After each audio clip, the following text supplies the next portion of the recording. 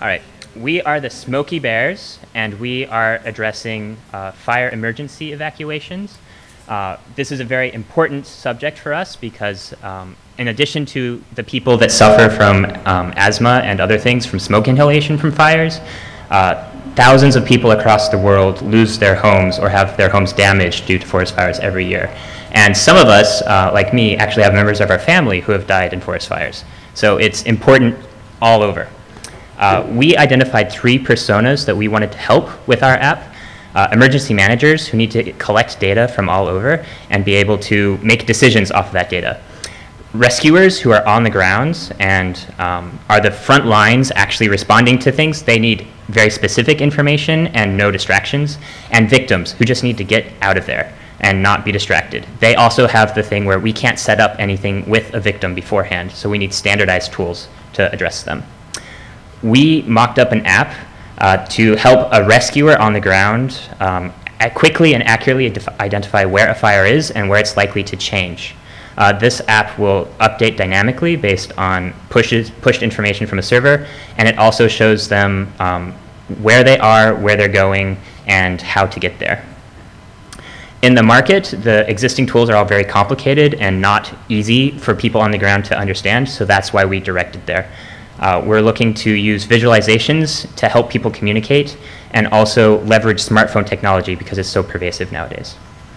Uh, we're about to show you a demo that has um, an example of the information sources we're using, uh, NOAA satellite images and uh, weather data for the um, managers, and Google APIs for the rescuers, along with Twilio and uh, Clarifai to help um, interact with the public. Here's a demo. Uh, part one is lo gathering location data from our users. When there's a fire, we send out a text message to everyone in the area asking, where are you? They use the standard uh, tools inside their operating system to share their location with us. This works for Android and iOS. It's very, very easy for them to do. We take this text message from them, again with Twilio, and we distill it to get the coordinates of where they are. We then send them a Google link and uh, also just their coordinates to show we did it, and ask them to send us photos if they see anything dangerous so that we can crowdsource data. If they follow that Google link, they see a map with where they are, a location that we're sending them to where rescuers can meet them, and uh, how to get there. All right. If along the way they see something dangerous, they snap a photo, they go back to the text message app, they send us that photo, and you know, you're nervous, you might hit the wrong button. So we verify that data with Clarifai. We uh, send it to our server, who sends it to Clarifai, who does analysis on it. And if it's not a real fire, we tell them that it's not a real fire uh, and ask them to send another image, uh, which updates um, and will then be added to our database and cause us to reroute people if ne necessary.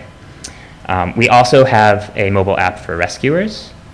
Uh, so this is what the rescue would look at. It shows where they are, where the fire is. They can zoom around, look at different locations, um, and if they need to, they can click a button at the top that shows them more details about what's going on. Uh, a name of where they're going so that they can talk about it, other team members who are going there, and their estimated time of arrival.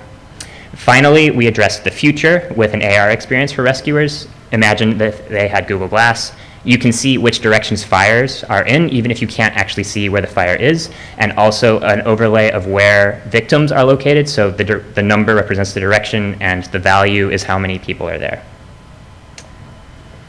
Uh, finally, uh, we wanted to say that there are some constraints that we're trying to address with this, and it's extensible.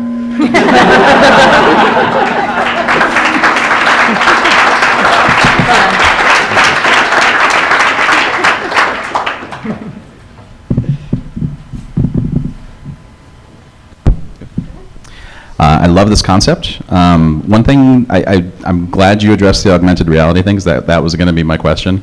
Um, but in terms of the victim or the, the rescuee user, I was thinking it would be cool to have them, like you can say, hey, you're in an area, we need information about that area. We don't have any, can you point the camera in this direction and take a picture to collect data? That would be a very easy thing for us to add because we already have a text message loop going with them. Mm-hmm. Um, and you know, working with people who actually have experience in this field, we'd be able to add more details to this. Fantastic. Uh,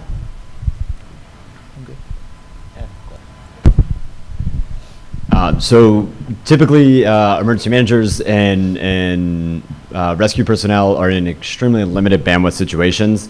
Um, I see that you guys have some some of the satellite data that's pulling into Google Maps. How do you kind of uh, limit that or make it possible for them to work in those uh, bandwidth limitations? Uh, text messaging is about as light as you can get. Sending the images is kind of complicated, but I'm sure that we could also optimize, like, uh, because this is an app that you send out, they can preload the maps, for example, and not need to access the network for that. We're just sending coordinates of how to get from A to B and a route as well.